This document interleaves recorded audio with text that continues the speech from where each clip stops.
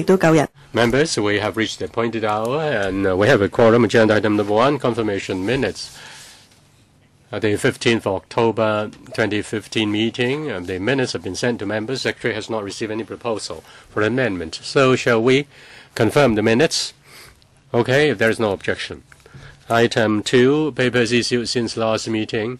Since the last meeting, Secretary has issued five papers. The details are also on the uh, revived agenda. Mr. Wong Yuk Man on the 21st of September wrote to this panel, uh, gave his view on the promotion of digital voice broadcasting, asked for inclusion of the item on the agenda. The administration has given a reply to Mr. Wong, and the reply has been given to members um, for reference.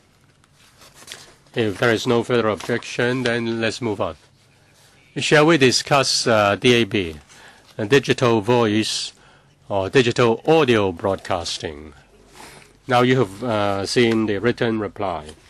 Now, having read the uh, written reply, do you think it's necessary to put it on the agenda? Yes, indeed, Mr. Chairman, several companies are involved. And Phoenix. Uh, I really can't uh, speak his name, it's quite a mouthful. Okay, the reply is just tabled this morning. Well, please read uh, that, and if you feel that this should be included, then I uh, will talk to the administration, add it on uh, into the agenda. Ms. Claudia Mo. Sorry, speaker's not coming through. Mr. Wong Yuk is not here. Now, Chairman, I've read the reply. I still think we can discuss it. It's about the freedom of information and about choice for the people of Hong Kong. Okay? Um, shall we uh, talk to the administration on when we can put that on the agenda? Okay, let us move on. Days of next meeting. Our December regular meeting is on the 14th of December at 2.30 in this room. The administration um, has suggested the following. A, better utilization of eight-digit numbering plan. This is item one on the list of outstanding items. Uh, that's a, an issue of common concern. On the 20th of November, the government will be able to set up the ITB, and we want to invite the representatives to the new bureau uh, to give us a brief on the work. Uh, so the, the bureau will be invited for a briefing. Yes, so be it. Item four. Capital Works Reserve Fund, Head 710, Computerization, Subhead A007GX, Block Allocation, New Administrative Computer Systems. Uh, shall we invite the officials into the room? Uh, may I welcome uh, the representatives of the OGCIO for attending the meeting.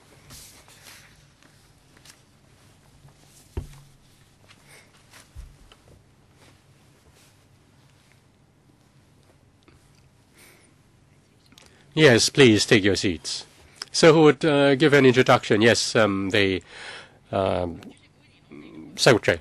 Yes, Chairman, every year we apply to the FC so as to implement uh, Capital Works Reserve Fund Head 710, com 710 computerization um, to promote the use of computer. The estimated cash flow to pay for the approved projects and also the proposal by the bureaus and departments, we propose a total allocation of $99 million, an increase of 50 million over the current budget, which is about 5.3%.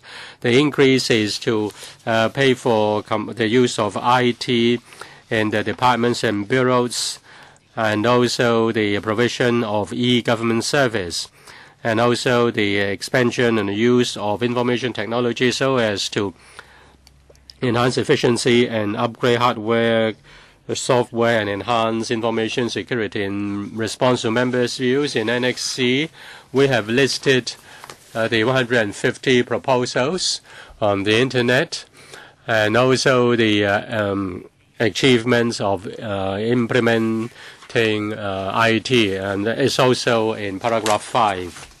We hope uh, members will support the funding so that the bureaus and departments can implement uh, their, their task on uh, IT. Any questions from members? Mr. Charles Mok. Five minutes, questions and answers included. If I may thank the officials coming and speak to us on the initiatives under Head 710. Every year, there are increases to funding. It's not the result of price increases. It's because of increase in workload, and items to be updated have also increased. You have listed the items, uh, 150 odd, to be implemented by the bureaus and departments. Uh, now you've told us the items and also the budget. The overall increase is 5.3%. But in terms of manpower, what will be the change? So in terms of headcount, will there be any change? Whether they're civil service posts or contract posts, in terms of headcount, will there be an increase? Um, Say, in terms of contracting out, Uh, or in terms of awarding contracts, um, there will be more employment, but you also need civil servants to do the management and coordination. With regard to uh, ITMU, uh, ITMU, some are very big, some are just small, say five or six members in the team. Say, concerning the first department, I I, I will not go over each department. Say for AFCD, the ITMU has only six persons. It uh, does have new projects uh, with a budget of several millions. So um, It's not just six people doing all the work. Can you tell us what is the actual arrangement? And in relation to Uh, the departments, how are they going to deal with these uh, new items? The OGCIO. Um, chairman, the uh, departments submit to the OGCIO to do the coordination. We are now at the planning stage. Each item has to be uh, provided with details before the OGCIO will uh, vet whether, uh, in terms of the systems, in terms of manpower, in terms of delivery standards, um, the OGCIO will vet the details. And then the manpower and also the amount will be finalized then. It's too early to say what is the manpower implication. On the whole, since the uh, budget has increased, we do expect that there will be a commensurate, um, that there will be increase um, proportional to the um, amount. I think the question is not about this head. And concerning the items, I do feel the need for those items. My concern is about management. How do you go about it? If you look at the ITMU, some uh, have just a few hands. Say, for example, Labor Department, eight items or eight projects. And some are quite big, more than $10 million. But the size of the ITMU is just nine bodies. So is management adequate? And they can get a contractor to help them to work on the million-dollar projects. But in terms of management, will the resources be spread out thin on the ground? So uh, then That is my concern. According to previous numbers from 2009 till 2015, in the civil service, the number of posts increased from 700 odd to 900 odd in the IT field. these IT officers uh, in the civil service are responsible for management and also part of the implementation. In each department, according to the, uh, their needs, they will increase their civil service establishment. And if need be, they can also increase uh, the manpower of the uh, non-civil service establishment. Uh, Ms. Chang, I've noticed that there are more than 100 projects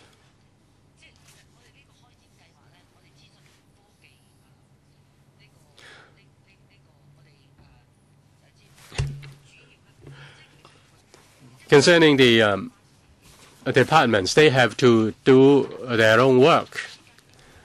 And then how do they coordinate? Say, do they uh, do vetting? Uh, I mean, the OGCIO, do they do the vetting? Or do they make suggestion? Or do they involve in the development? Uh, the uh, GCIO. Generally speaking, we ask the departments to give us specific proposals. The OGCIO has dedicated staff to scrutinize uh, the plan on implementation, on um, supervising the projects. Uh, ours is a coordinating department and a supporting department. We help other bureaus and departments to get their jobs done. So in three areas, we help in terms of uh, coordination, uh, cooperation, and exchange. Uh, any further questions from Ms. Chang? Well, you look at the plans for them. As for upgrading, uh, development, and fees, uh, they will be uh, borne by the relevant department. Yes, you're correct. Now, there are more than 100 items, but the um, uh, um, electoral registration in electoral office is not included. Is it? Uh, does it come under your purview in terms of giving advice? As for the REO, it is a government department. It can propose necessary items. As for the REO, um, it is now embarking on many projects. Now, um, with upcoming elections, the projects will be launched. A project may take one year or even two or three years. So uh, they already have ongoing items. As for new items, um, there is none for the REO. Um, but um, they are actually working on substantive items uh, to deal with the elections. Uh, Chairman, if I may have one more question. Just now, uh, there are problems with the REO, including the input of information and information from several thousand households were wrong. And many uh, people made uh, suggestions whether voting can be done through the computer. Uh, that will save a lot of manpower. And that may also enhance accuracy. Uh, will you uh, make such a suggestion to them, uh, the OGCIO? Mr. Secretary. Well, we will uh, refer the this suggestion to our colleagues concerned. But one point I'd like to make is that this proposal is about how the CMAB should, you know, conduct elections. Uh, so I will therefore refer the question, your proposal not to the REO but to the CMAB. No, not not quite. Of course, it is their decision. Obviously, it would be the decision for the department but still you have more professionals on your team. I'm suggesting that you should, you know, show more concern and give them more suggestions and ask whether or not they, they need your assistance. Because if you don't ask them, they will not tell you they need assistance because they have their own technical staff But the question is that the the the function of the OGCIO is that you you play a coordinating a central coordinating role. Uh, as far as IT is concerned, I think you should be more you should more proactively you know be concerned about the projects of the the other departments. We'll be happy to do that, Mr. Tam Yiu Chung.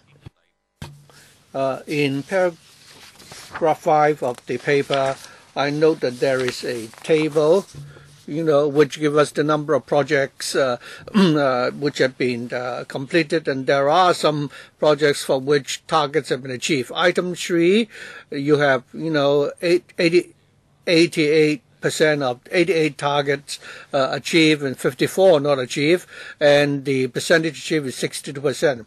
The reason for not completing on target is because these departments uh, don't have enough manpower, etc., etc. So I'd like to know more about this. If the departments say that they do not have enough manpower, of course, when you sign contracts for these uh, projects, there would be a completion date. And if the completion date could not be met, would there be any penalties? And also, very often, uh, when you you know uh, tender for invite tenders for the projects, the lowest bid would win, but sometimes the department may, you know, you know, select a larger, uh, you know, uh, contractor. So for sometimes uh, they're not able to complete the target or the, the project on time. So how can we improve on that? Well, actually, there will be a penalty if the contractor cannot, you know, uh, honor the commitments and cannot achieve the target, there would be uh, penalties. Of course, we will not, you know, impose penalties right at the beginning. We will closely monitor the progress of the project, and when we see any uh, possibilities of delay, we will ask the, uh, you know, uh, the uh, department concerned how they can catch up and after several reminders and discussions, if they still cannot meet the target, then there will be penalties imposed.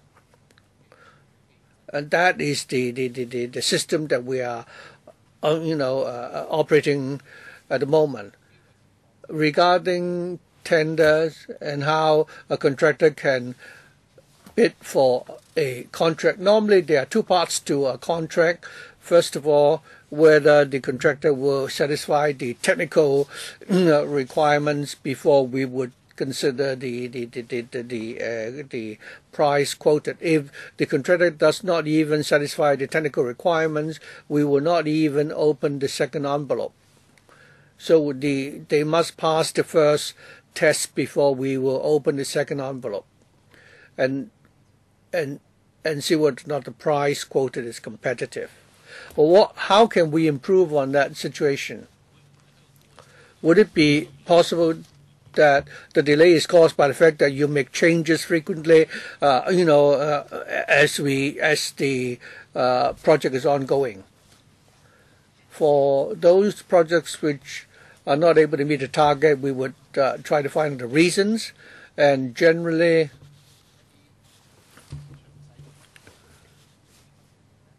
we there might be arguments over the details of the project, and the user department may have uh, uh, written down something in the specifications and the contractor may not, be able to fully deliver and there might be arguments resulting in delays. If the specifications could be written more, more specifically and if there could be good communication at the outset, then the possibility of delay could be uh, reduced.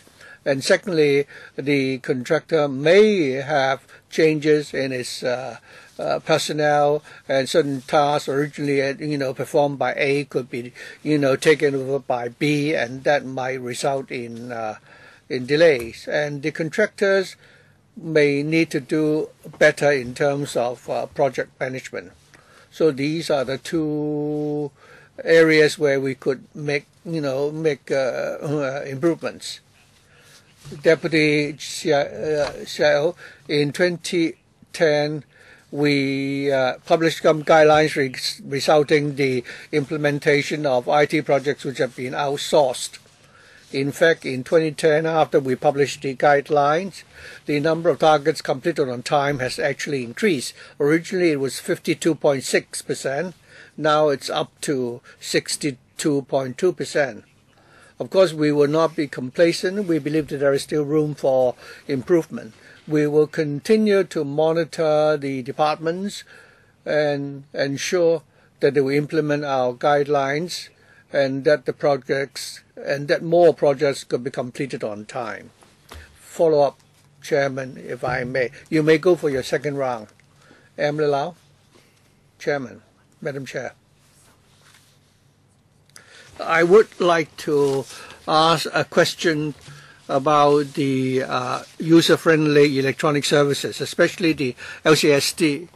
Uh, people have been complaining that when people book for the facilities to play ball games, uh, they found that the venues have been monopolized and the public will not be able to book those facilities. And secondly, the ticketing arrangements for concerts. It's very inconvenient. Many people uh, have complained as to why there could be cannot be improvements. Uh, so could the CIO tell us whether all those problems have been rectified?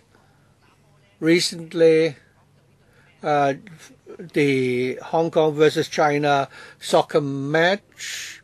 I think people have been complaining about the arrangement. Uh, the football club uh, uh, asked people to queue up at the ticketing office. Uh, the public was asked to buy tickets online, and they couldn't buy the tickets. Uh, so uh, perhaps the LCSD can help answer that question. Thank you. Well, the LCSD this year had uh, a new project to help uh, enhance the mm, uh, function of the leisure link to ensure that it will run more smoothly and that nobody would monopolize the venues. And that is the purpose of Leisure Link. And I believe that after this project is implemented, the situation should improve. As for the booking of facilities or venues or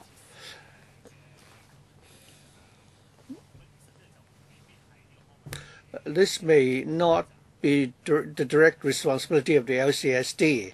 Sometimes uh, the the task is uh, performed by you know private you know, uh, you know, ticketing uh, agents. Uh, whoever is responsible, I think it is important that the service should be smooth. So could you help the LCSD and also how, ask the L- LCSD to work better with the uh, contractors?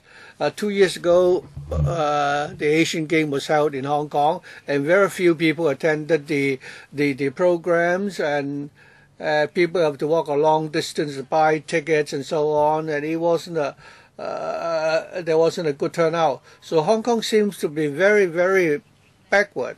When I talk to people about the West Kowloon Cultural uh, District people, we're going to sell many tickets and, and so on. So I think we need to talk to the LCSD uh, to ensure that they can do a better job. Is it really so difficult to do a better job? Can you help them? Could CIO tell us you say to enhance the uh, leisure link so that you can overcome the problem of people of the venues being monopolized. And the government now sells so many tickets. They're not directly sold by a government department, but they are. Uh, but the events take place at government venues. Thank you. Regarding the enhancement of the leisure link, uh, the LCSD uh, this is a project proposed by the LCSD. The purpose of this project is that when a member public wants to book facilities online, uh, the Leisure Link will ensure that the venues will not be monopolized by others. Uh, as to the specific details as to how they can prevent the monopolization of such venues. Of course, when they work on this project, they will have a detailed design to ensure that when the, uh, facility is launched, uh, they can prevent the people monopolizing the venues. as to how we can coordinate better with the LCSD so that in terms of uh, you know uh, the booking of facilities they can do a better job we certainly can come talk to the LCSD the LCSD also has an ITMU we can certainly have exchanges with them to see how we can ensure that the system can run more smoothly. Chairman, having heard this, I don't have any confidence. Well, the LCSD has a request that you can, you know, you know, that they want you to build a system to help them. We know that already. What I want to do is how the uh, uh, uh, the OGCIO can can help them. Is it the case that you don't know whether they will work or not? And if so, please don't help the LC, LCSD. Well, the LCSD already has a team which has been deployed there by the OGCIO. There's about a dozen of our staff with, who will be responsible for, uh, you know, uh, you know, uh, enhancing the LCSD, operating the LCSD uh, IT system. They in our office, of course, our office, of course, if need be, will also coordinate with them. For example, we do have electronic services which are interdepartmental, and I think those can be implemented more smoothly. Jim, I don't think you have answered Ms. Lau's question. How can you prevent or tackle the problem of venues being, you know, monopolized and ticket scalping? Private Secretary we will try our best to provide the information we have on hand. Now, if I may have uh, also answer Ms. Lau's question, that is, there might be, uh, you know, you know, you know, uh, uh, agents which could be selling tickets and they're not government departments. So how can we work with them better? Uh, it's not an easy task. So do we, for example, could we share a common platform and work together. I think this is something that deserves to be explored. When we are a smart city, uh, I think we need to have such uh, services which are, you know, uh, which actually uh, uh, work on joint platform. Uh, Chair, Madam Chair, we can ask them to, we can ask the new secretary, well, Chen Chin. Madam Chair, my question today is about, you know, confidential email system but the budget uh, proposed by different departments vary a lot, uh, from several hundred thousand to several tens of millions dollar. Is it is the discrepancy in price due to the to the uh, to the complexity of the system or the number of uh, uh, recipients? Uh, for the Marine Department, it's not a confidential email system. It's $5.7 million just for an ordinary email system for the confidential email system for the SAR government, what is the progress so far? Is it that all departments already have this confidential email system, or is it the case that uh, some departments don't have it? Uh, the police, for example, do they already have it? I think all government departments should have such a system. If some departments have such a system and others do not do, then then how do we, uh, you know, resolve this anomaly?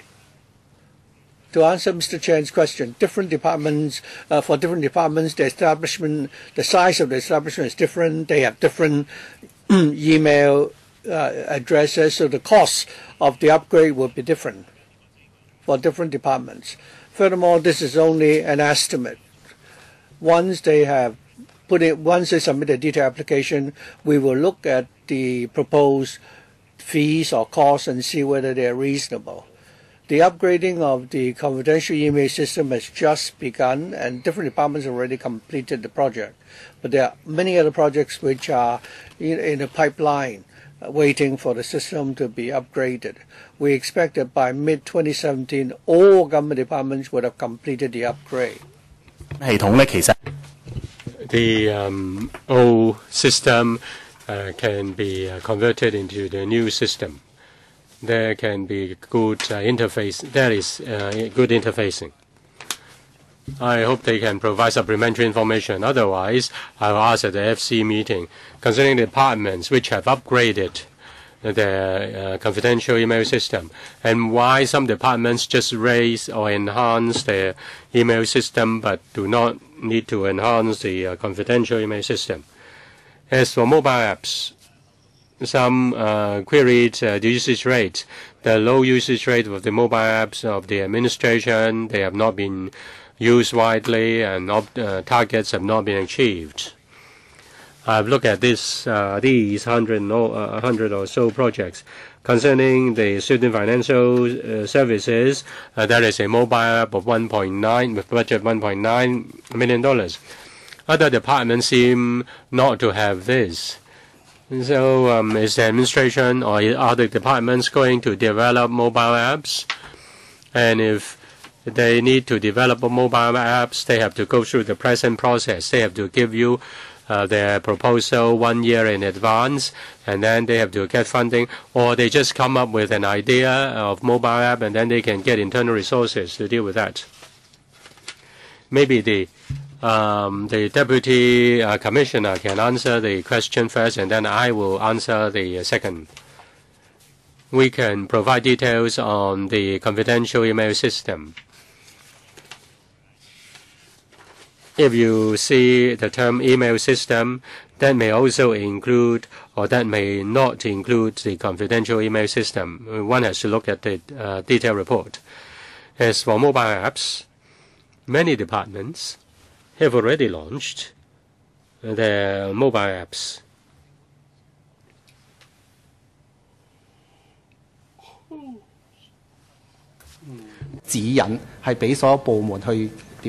We have guidelines for the departments with regard to launching uh, mobile apps. Um, they launch mobile apps for different target groups.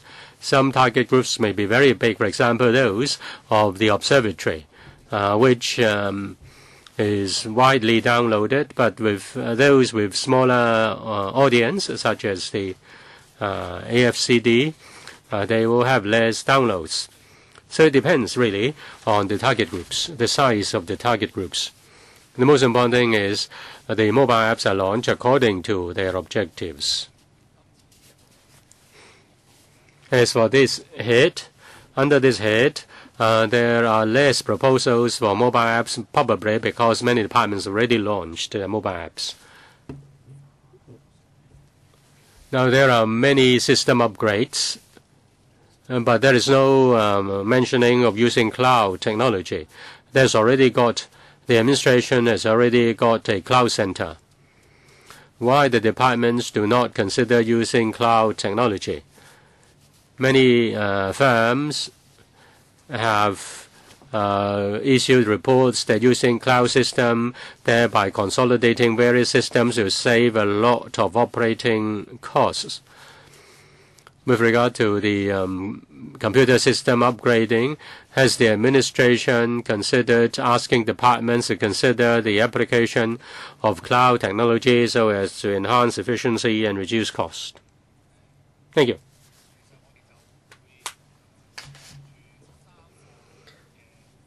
There are three directions in respect of uh, cloud technology. The first is to make use of a central database or central data center. The other is the GovCloud. And the um, third is public service.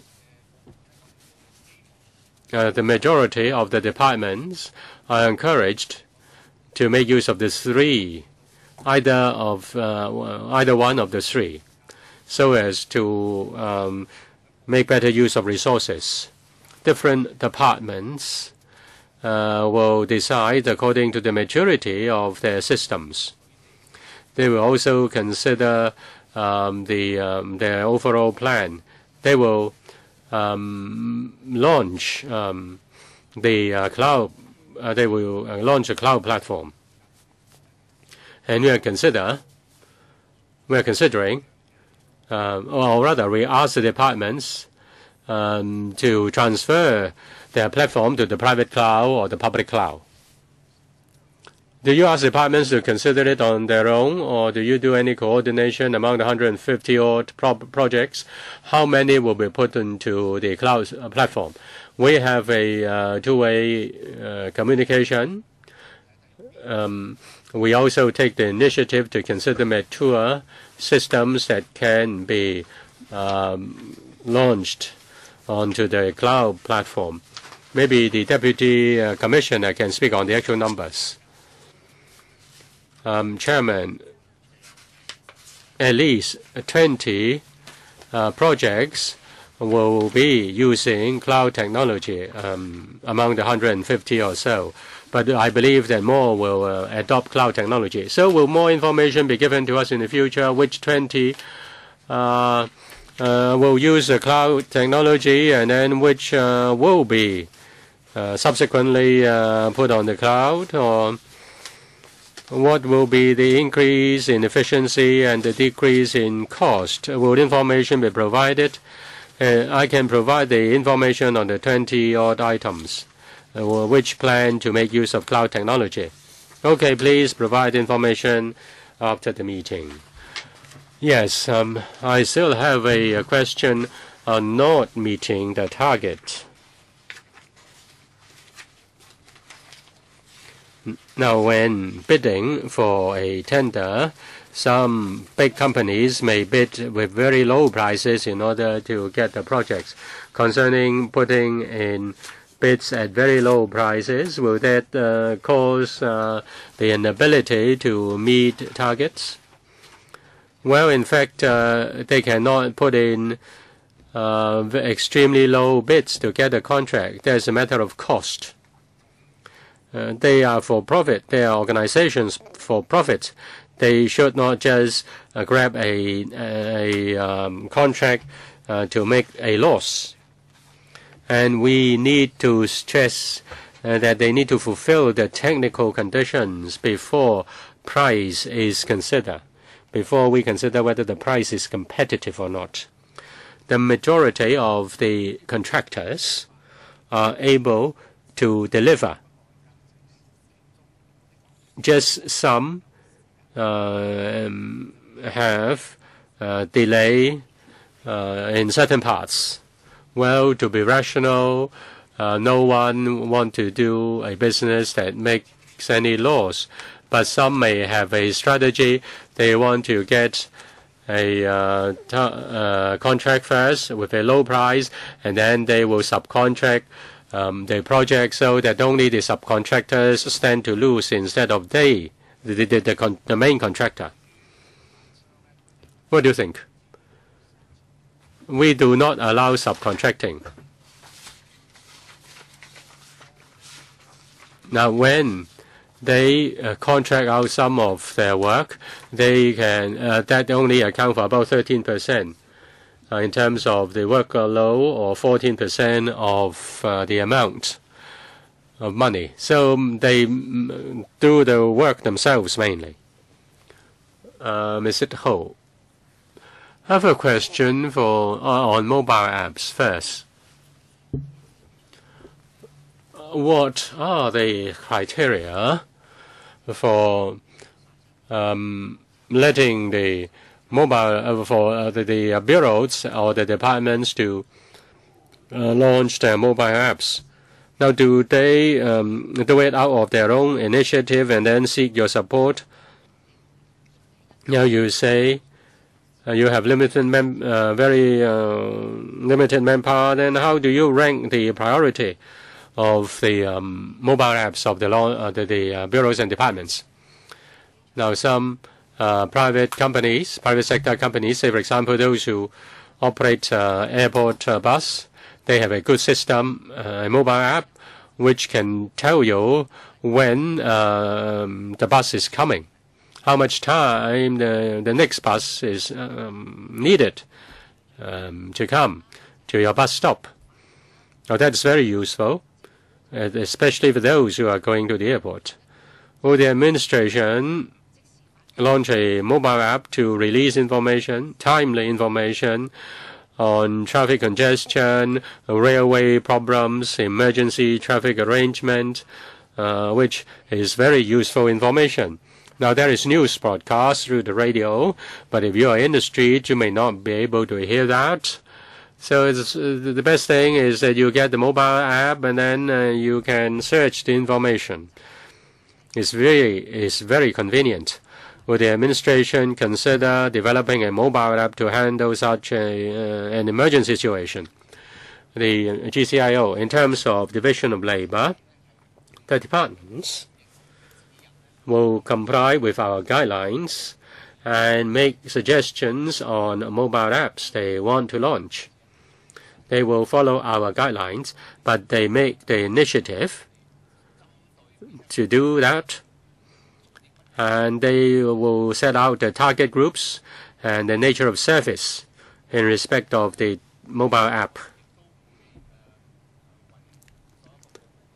We'll also ask the departments to release their data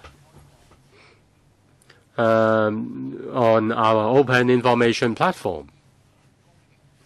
We hope public sector firms and private sector firms can make use of the data and uh, combine them with other information to develop new mobile apps for our citizens. The one you mentioned um, is already uh, done by um, some firms outside the government. Now, uh, according to their reply, it is for the bureaus to make the proposal. So do they make use of their resources to launch the mobile apps, or do they need your support? Do they get your, uh, try to get your support? And then what is your priority?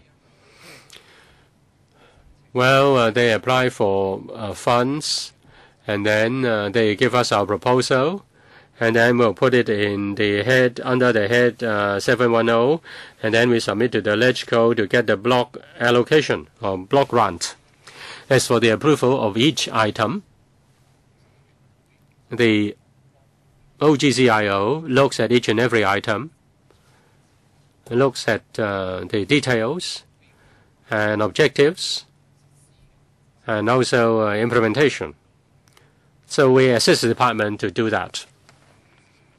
So um, if the, uh, the uh, when the departments or bureaus make proposals to you, they don't need to queue up. As long as they propose, then you bring the proposal to the LegCo, right? If it is between $200,000 to $10 million, we will incorporate this under 710, 710. As for whether a project will be approved and how much will be approved, we will talk to the uh, department or bureau one by one. I want to ask, what are the factors for your consideration? Whether the project is worth doing. What are the factors to decide it is worth doing? 诶个资源咧系都要睇下除咗钱。well, um, we have to look at the manpower, the budget, and also uh, whether the um, mobile app will facilitate the provision of government service to the recipients. We need to consider various factors. Well, uh, this item uh, is scheduled to end at a quarter past three. Uh, I will allow Mr. Leung Kwok Hung to ask his uh, first uh, round of questions, but um, I will not allow second round. Mr. Leung Kwok Hung. Yes, please speak into the microphone. now, concerning mobile apps and public information, you have new examples. One, two, and three. These are examples. What are the others? Or you only four. You only have four, and you mentioned three here. What is the uh, percentage? Is it 100, uh, 3% out of 100? Uh, page 5. Uh, you've cited three examples. Mr. Leung is asking whether you only have three such examples, or uh, uh, how much do these user-friendly electronic services constitute, uh, you know, in percentage terms, uh, uh, you know, uh, uh, how much do they account for the total? So regarding lab apps and so on, there are 11 and 10. So it 59 to enhance internal uh, operations, 13 is about upgrade of technology, and 42 is to further enhance the uh, information security. I think if you have put it in the paper already uh, in the first hand, then uh, uh, first place, I would wouldn't have to ask the question. Well, you have guidelines and people follow your guidelines and also uh, work on these projects in the light of the actual circumstances. Well, I haven't read your guidelines. Perhaps I'm lazy or I haven't, I, I don't know where to find those guidelines. Could you provide me with such guidelines? And secondly, could you tell us which department has told you well, you've cited so many examples in your paper uh, about public information and mobile apps. Let's say uh, an apps involving whether you may say you estimate that about 1 million people use the service. Please give us such details. You always say that the department may have many, you know, uh, clients or users. Well, the observatory has many, many users, so I don't understand if there are very few users, why should you support such projects? Well, you approve of a project when the estimated number of users are small, or if a department, you know, estimate there is a large number of uh, users, it turns out that the number is much smaller, and then the the audit uh, would uh, monitor them. And you say that the, for the observatory, there are many users, the other departments, there are very, very few users. If very few users, you shouldn't you know, do it in the first place. So do you have the figures? You gave us figures like 10, 11, 59, 31, 42. Actually, in paragraph three of the paper, we have already laid down the uh, the uh, criteria um, de determining whether or not we would support those uh, approve those projects. For example, whether they support e-government strategies and so on. Okay, I don't think we need to waste time. I've read those uh, criteria. Our question is that there are some services which nobody would use why is it that we have projects for which we have approved funding and, and, and in the end it turned out to be a waste of money? I think for projects with many users like the of observatory, of course you can approve them. But is it the case that there are some departments who would propose projects for which there are very few users and you would still approve them? Uh, could you tell us why? Understand. I think as far as government services are concerned, I don't think they would uh, look after every member of the public. Some services uh, would cater for some people. Let's say one department say we want to develop an app. For, we expect there will be 50,000 users. In the end, there are only 500 users. They say they if I tell you that uh, I estimate the number of users will be 500, it turns out that there are 500, then, it, then it's all right. If the department estimate there will be 50,000 users, in the end there are only 500, then if you go to paragraph 5 of our paper, we have explained that this department may not be able to uh, satisfy our criteria and say last year, for example, there were five projects which didn't, you know, achieve the expected efficiencies, and then uh, they would need to, uh, you know, provide us with a uh, post-implementation departmental return. Okay, I think with that, we can wrap up our. So uh, before we wrap up, uh, I'll ask members whether or not we support the government's proposal. I don't see any objection. Okay. Next item is review of license conditions in carrier licenses. First of all, I'd like to welcome the officials attending our discussion on this item.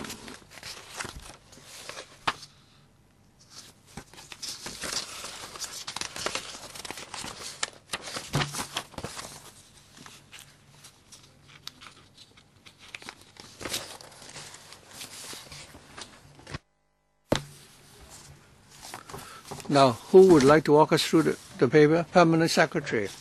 Madam Chair and members, the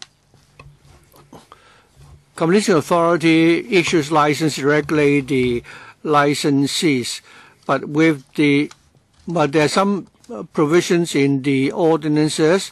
Uh, I think because of the overlap of services, sometimes the licenses are subject to double regulation. We've therefore reviewed licensing conditions and consider whether or not we need to scrap some of the provisions which actually uh, uh, actually duplicate each other uh, or have been superseded.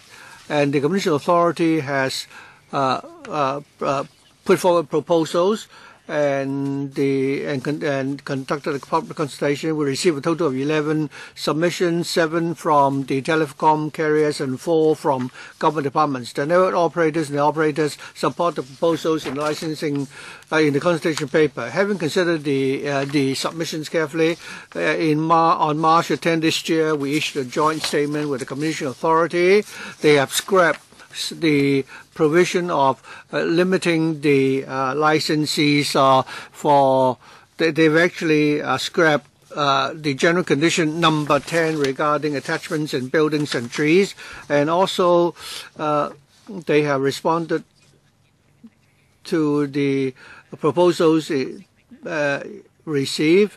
And the joint declaration joint statement is in annex 2 and there are also special conditions regarding road opening. Uh, for this, we don't need to amend the ordinance. In respect of general condition number 10, uh, I think we will need to uh, amend the schedules. Paragraph 9 to 12 explains uh, the scrapping of general condition number 10. That is the uh, rationale for restricting uh, uh, uh attachments uh, uh, to buildings and trees the forestry and ordinance already have regulations, so therefore there is no need to require the telecom carriers to require additional permission.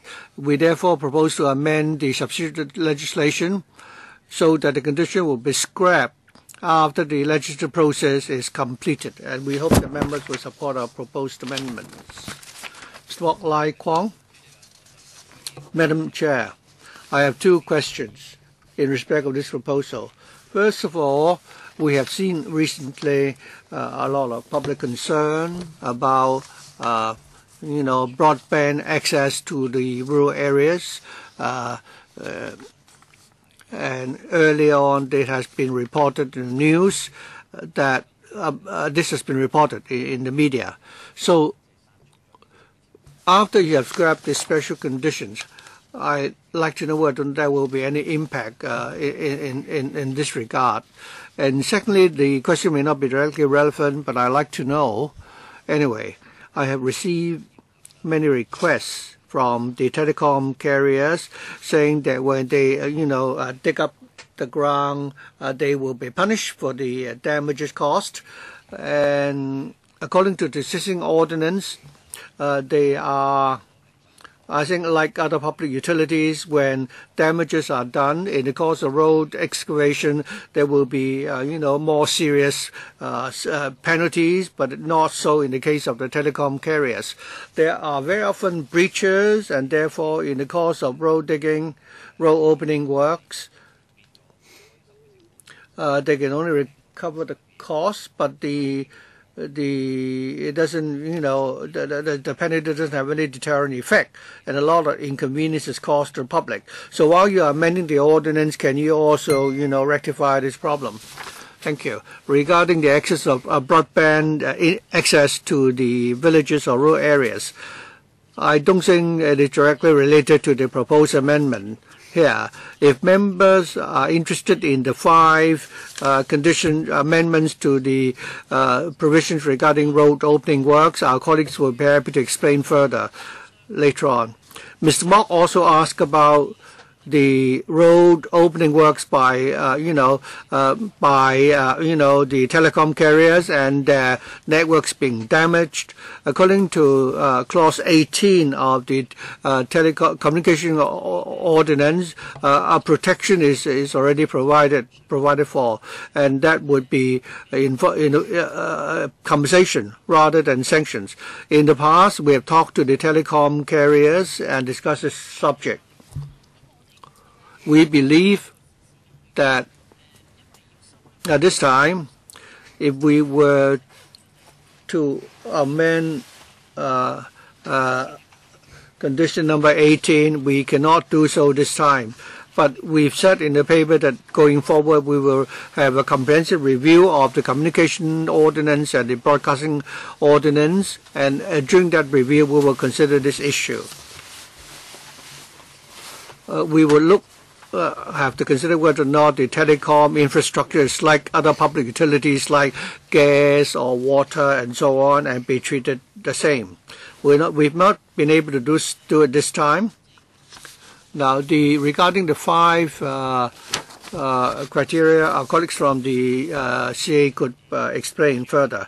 Well, the five provisions are in respect of the uh, telecom operators, uh, conducting road opening works, for which they would need to obtain uh, written permission by the Highways Department or the uh, Lands Department. Before they start such works, they need to obtain consent from the, uh, you know, Highways Department. And when they really need to open up the roads, they would need to obtain a road excavation permit published, uh, issued by the Highways Department. If they conduct any works, they should not cause interference to other facilities. And if they uh, make any changes, if certain public utilities would need to be moved, then they would need to, to, to, to work uh, uh, in tandem with those uh, operators. Chairman, just want to add one point. If you say telecom communication is not a basic service, I don't think many people would agree saying that they are not, uh, you know, uh, as important as the other utilities. Uh, I think we've been waiting for the amendments for a long time. You need to create new posts and conduct public consultation. It will take a few years. It's too slow.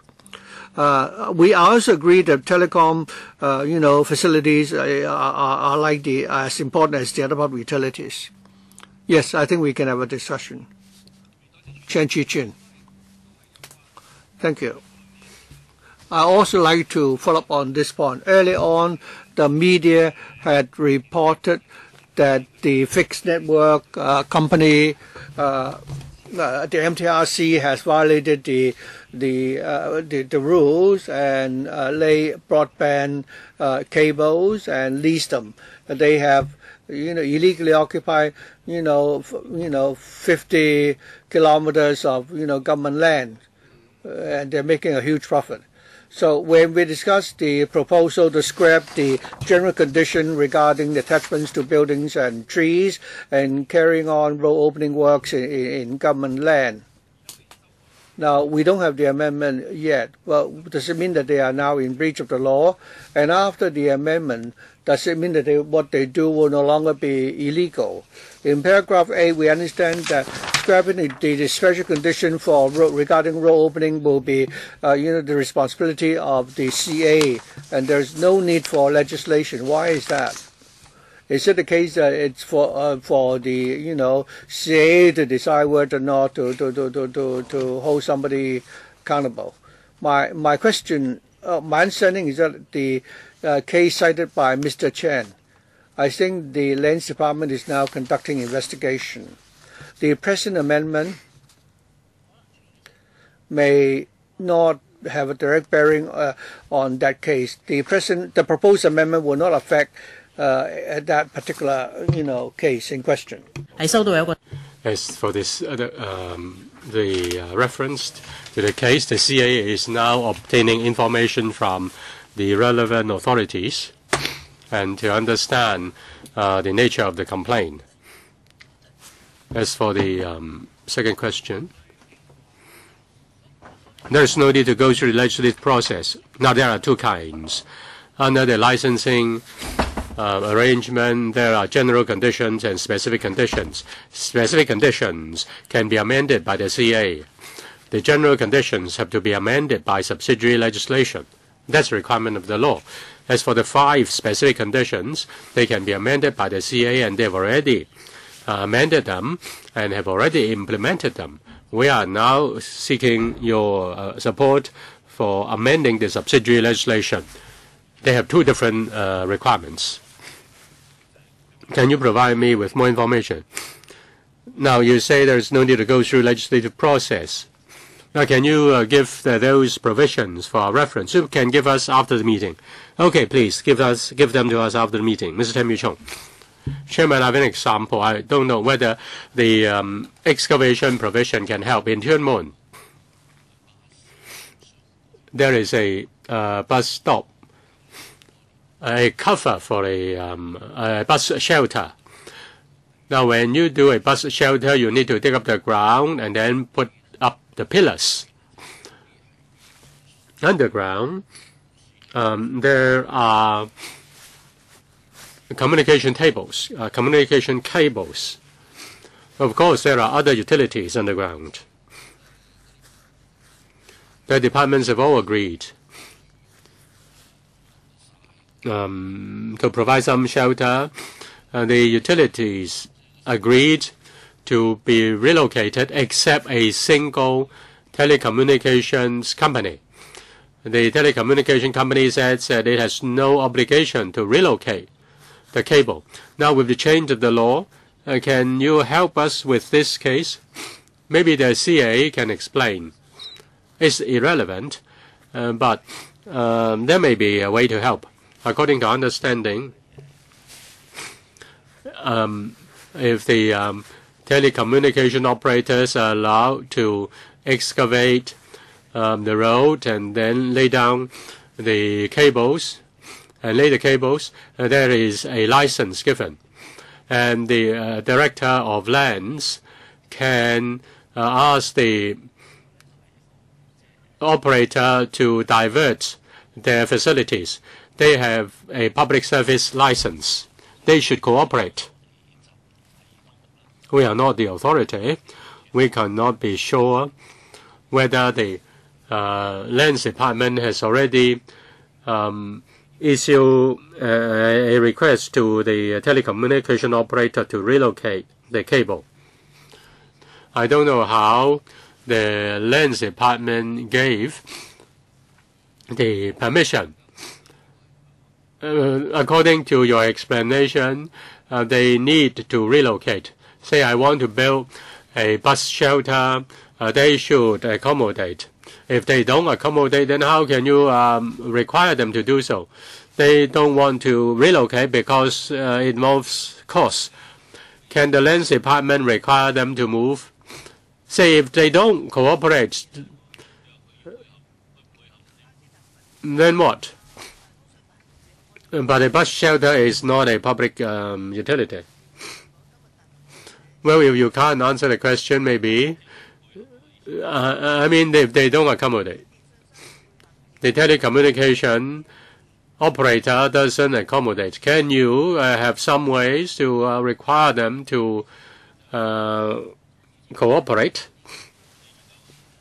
We don't have the actual information. Let us look into that.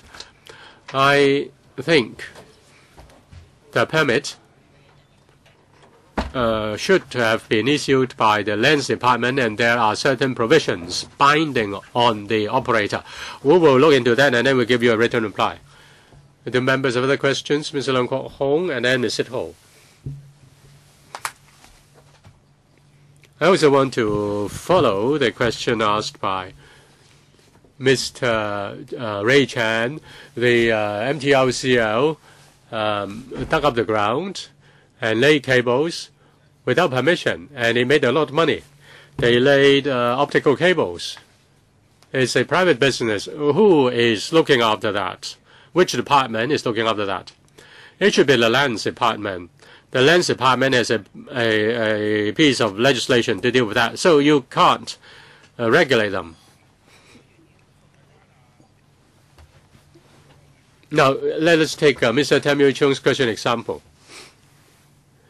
Is a bus stop a public um, infrastructure?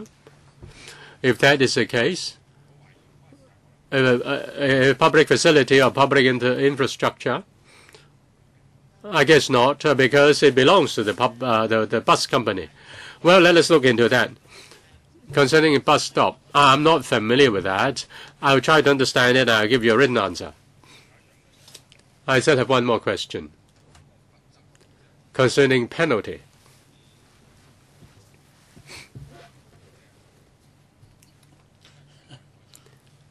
Say, uh, damaging the cables. I think you really need to change the law. Um, telecommunication is very important. If you look at um, people in the MTR trains, you see everybody is holding a, a smartphone, looking at their smartphones. Now you come to uh, sell the ITB uh, to us. I um, tried to block it. Now uh, they're able to get through. Now, as for this one, uh, can you be quick in uh, proposing the change of law? We will not uh, filibuster. I've already said that we need to look into the policy. We do our best. We're all here. Uh, uh, um, uh, except those who have not spoken, we are very concerned about it. Now, we have um, gone a long way from the olden days. The um, telecommunication is a public facility and you need to protect it. If someone destroys the telecommunication system, then it's really very serious. Well, they just um, um, say uh, damage your cable, and then uh, they uh, pay you. They pay you. Just uh, they just compensate you say I am doing telecommunication business and then I dig up the ground, I damage your cables, then I can uh, do my own business. I, I, can take away your business. you really need to. So I just damage your your cables, and um, you have no business. It's not that there is no penalty is that if you have damaged the cables, then you will have to pay compensation. Say if one company has done uh, this thing, then its reputation will be seriously undermined. When we receive um, suggestions uh, from the uh, um, telecommunications operators, their complaints, um, mainly uh, because of the uh, cables being damaged by other people who are doing road works. Ms. It Ho, I want to ask the uh, Permanent Secretary with regard to the amendments that is in relation to uh, road excavation and also attachment to buildings and trees.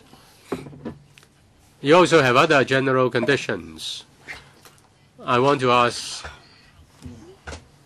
um, with regard to amendments to the conditions, do you go straight to amend the provisions or you set out just general criteria as you have set out in paragraph 5 there are altogether four criteria now there are hundreds of ordinances in Hong Kong. I don't know whether you have uh, studied all the uh, ordinances. If you do not adopt a general uh, principle approach, then in the future there may be other ordinances which come under the uh, principles of paragraph 5, then uh, you will be um, in, uh, in a mess. Now we are trying to amend the licensing conditions. Certain licensing conditions can only be achieved through amending the law, or amending the regulation, rather. Uh, the Deputy Secretary. Now, uh, we are now going to remove General Condition 10. It is in a piece of in a regulation under the Telecommunications Ordinance. The four principles or four criteria are the criteria we have adopted in assessing the conditions, whether they should be kept or should be changed. And after a review, we came to the conclusion that we should take away condition 10, GC10. And in taking away GC10, we need to, in order to take away GC10, we need to amend the regulation. It is, there should be a simple, or rather it is a simple act, and that is to take away GC10 from the regulation. We don't need to um, deal with the criteria. The criteria in paragraph 5 are the criteria adopted by the um, Bureau in respect of assessing the conditions. They will not be put into the law. Correct. All right. If we have finished with this item on the agenda, we'll move on to agenda item number six. Chairman, if I may answer Mr. Chen's question concerning uh, the five SCs which do not need the change of the law. In the Telecommunications Ordinance, or rather in the Communications Ordinance, uh, under uh, Section 7A, the CA uh, has the power to uh, issue specified conditions for licenses. This is 7A.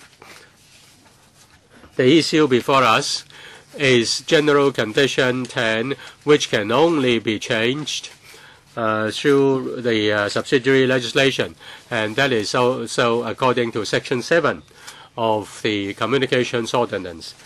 It spells out very clearly that we need to amend the GCs through regulations. All right, we move on to agenda item number six.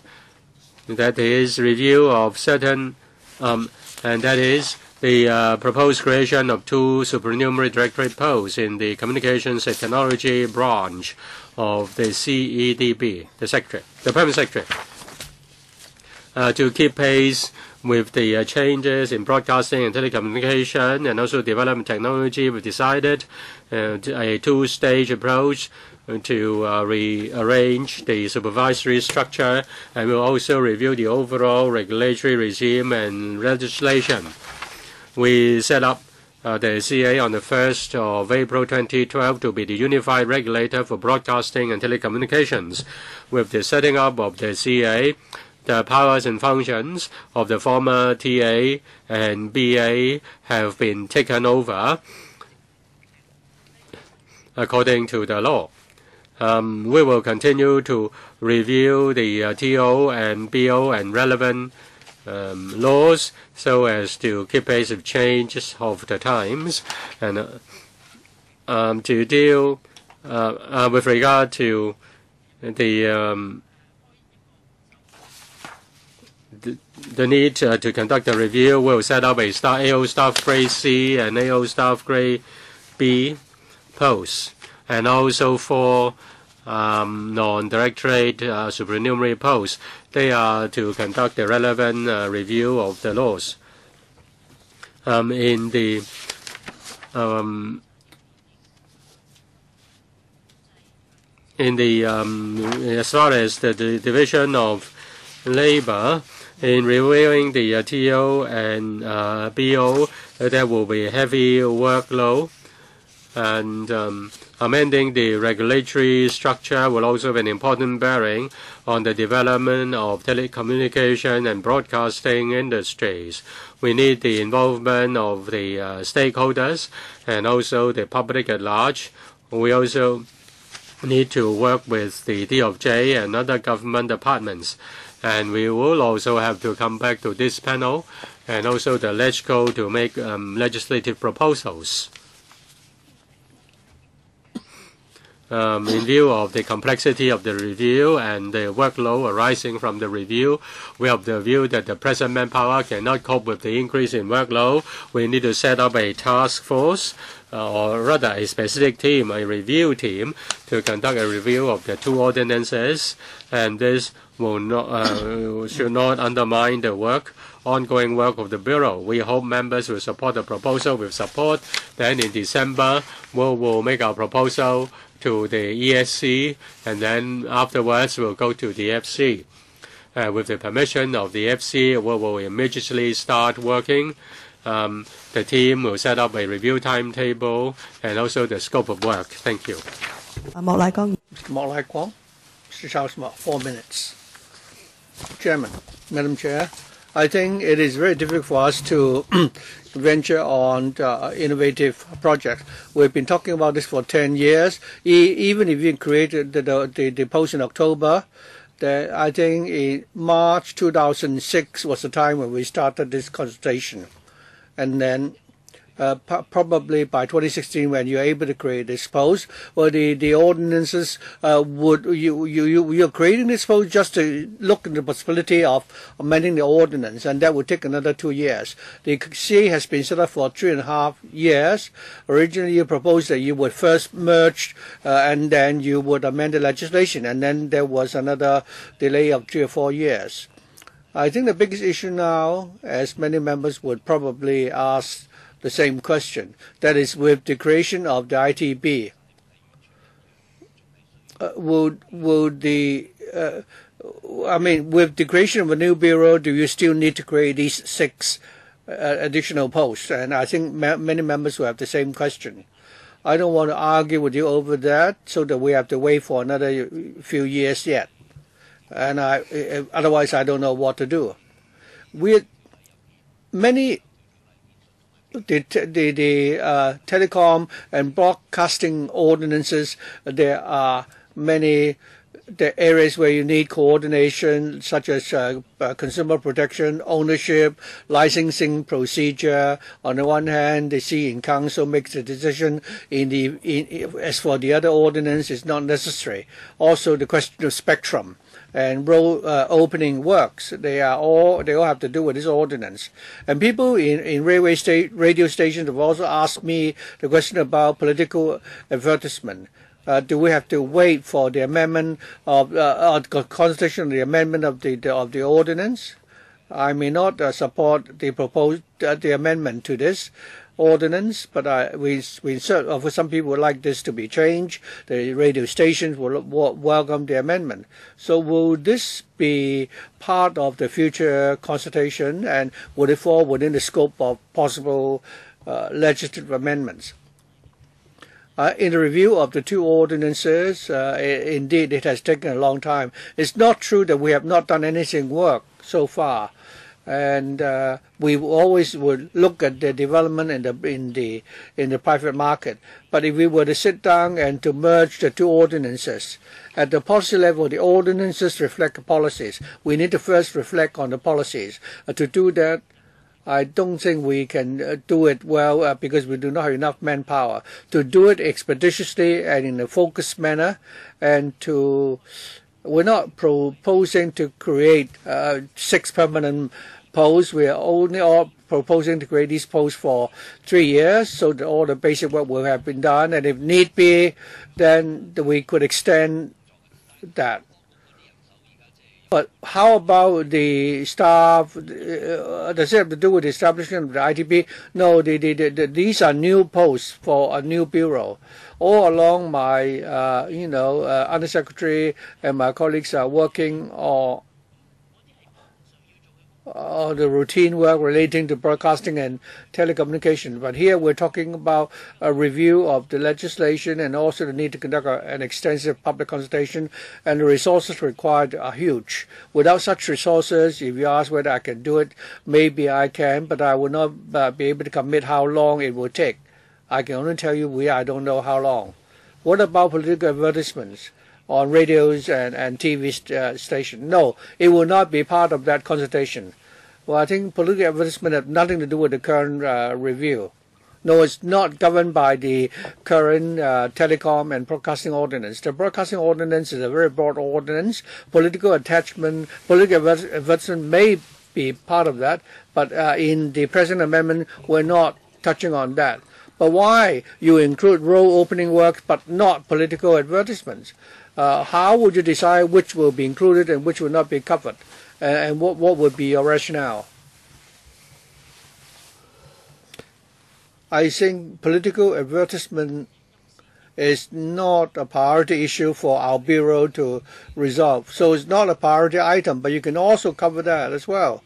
Certainly, if members have any views, we will listen to you, but uh, when we need consider the amendment of the ordinance, we do not think that this is uh, urgent. Uh, we are now proposing to deal with other issues which are very important, such as cross-media ownership and so on, which I believe are more urgent matters. Uh, Madam Chair, I don't want to, you know, take up other members' time, but I think in the existing ordinance, you already have some preconceived uh, position regarding what you will do or what you will not. Then, in in this case, could you tell us what uh, what are your priorities? Give us your. Uh, when the team is set up, of course, uh, the team will report to members of, on its work periodically.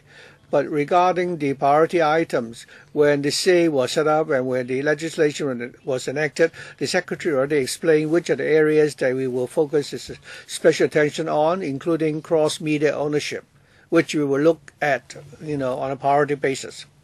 Leung Kwok Hung. We're talking about the, Mr. Leung Kwok Hung, please speak in the microphone. Are we talking about the proposed creation of two supernumerary directorate posts in the Communication and Technology branch of the CEDB. Yes. Well, we now already have a new bureau, the ITB. So, which bureau is this branch now under?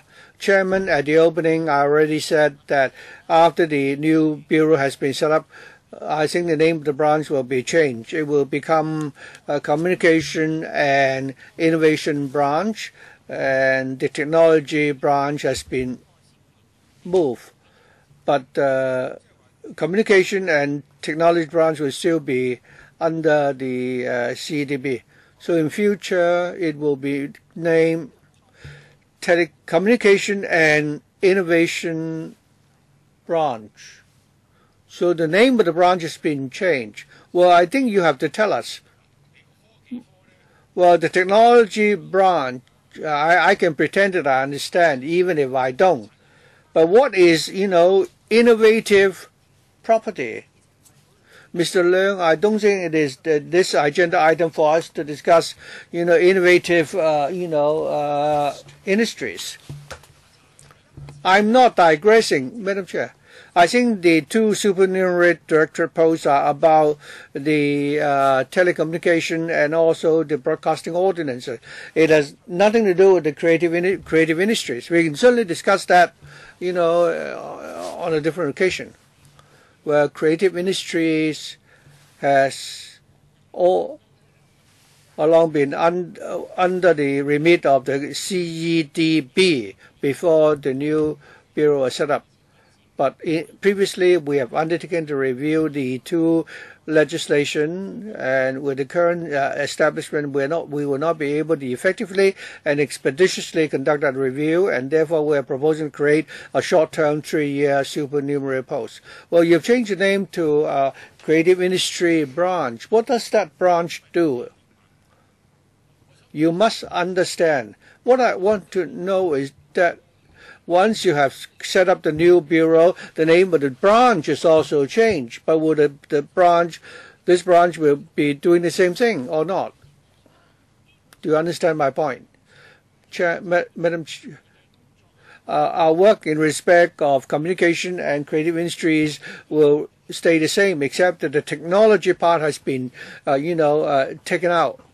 Today, we're talking about a review of two ordinances. We've all along been working on creative industries. Every year, we will come back to the panel to update you about the movie industry and so on and so on. Let's cut this short. before this change, uh, uh, when where does the uh, creative industry branch belong? It is still within the communication and technology branch, except that we in the past we did not particularly highlight this creative industry branch. Madam Chair, I agree with Mr. Charles Mok that the Telecom and Broadcasting Ordinance, we've been working on this for 10 years already. Uh, I think eventually we will be, you know, the slowest. Uh, they told us that they've not, it's not true that they've not done anything uh, over the last 10 years. This is such an important matter. We've asked you to review it, and now you've waited, taken so long and you're proposing to create new posts. Mr. Mok made a very reasonable request You've told us that you've done some work over the last 10 years. You should have already have some ideas. You shouldn't be starting from scratch and ask us to allow you to create these new posts before we start doing anything. Uh, uh, you sometimes criticize people for filibustering. But over the last 10 years, nobody has filibustered over this subject. Nobody has stood in their way. So I asked the administration, have you been so busy in the last 10 years? If you had been so busy, why didn't you come earlier to tell us that you are short on manpower and ask for a review? Why is that the case? I think that uh, uh, I, I think this is exactly the reason why so many members of the public are so angry. Well, the uh, the uh, bureau was set up for 10 years, the CA was set up in uh, in 2012 after the legislation was enacted. And since 20, 2012, it's not that uh, we've not done anything and wasted the time. Other than conducting research and collecting information and data, we've seen that the CA in its operation has seen that in terms of uh, uh, the allocation of spectrum and so on, or what technical issues they have encountered and how our policy can work better with them. In the future review, that will help uh, make our review going forward easier. I'm talking about the three-year post. And since the establishment of the CA, it's been three years also. Well, three years is not a short time either, whether it's three or ten years. If during this time you have done something, you've conducted some studies, you believe that the creation, uh, that these three new posts could should be retained late afterwards, then you could you give us a paper? Tell us that you've done a lot of work already and that uh, that you need more manpower to promote this, or is it that you, you, you don't have anything to tell us? I will try my best to uh, uh, provide as much de details as I can in my paper uh, to the PWSC. Well, you can't get blood out of stone. Well, I think you've been talking about this for such a long time. You should have some ideas already. Please give us as much details as you can. What have you studied so far? What are the possible solutions? Don't wait until the posts have been created. Otherwise, we might have to wait for another 10 years. Uh, Permanent Secretary, you note that members are very concerned as to how we can better enact these le le legislation. I'm sure you've done some work already. Please give us as much information as possible so that we can approve these polls and the review can go ahead as soon as possible. Mr. Raymond Chan. I support the, I agree the government should review these two pieces of ordinances as soon as possible because they're update, outdated and they're out of date uh, out of touch with uh, com communication and telecommunication. We are now talking about the proposal to hire additional staff. The Permanent Secretary I think the reason why we set up the ITB is because we can take out the, the portfolio for technology. Right now, your workload is reduced. You don't need to uh, oversee the work of the, uh, you know, uh, you know, create Hong Kong. So in for your in reality the, the workload has been reduced which means that you now have more manpower resources in theory compared with before so you have to tell the public with the extra uh, manpower resources release how you're going to use them you should make good use of the uh, manpower which is being released before you consider creating new posts. I understand that uh, in the past you you you have a heavy workload now that uh, part of your portfolio is taken out of your bureau. Uh, you you may have to convince us why you still, your workload is still very heavy. 喺基本上喺 Now, his simple answer is this: before the setting up of a new the new bureau, those dealing with technology, uh, the colleagues who are dealing with technology, um, uh, well, only I deal with uh, technology. My colleagues deal with creative industry and communications. I work with the two directors. If um, the um, manpower that has been saved after the hiving out of um, uh, uh, innovation technology is that I have more time. Now, in the past few years, I spent mm, quite a lot of time on innovation and technology. Now I will have more time to invest into communications and technology. Uh, can you tell us the uh, targets and timetable?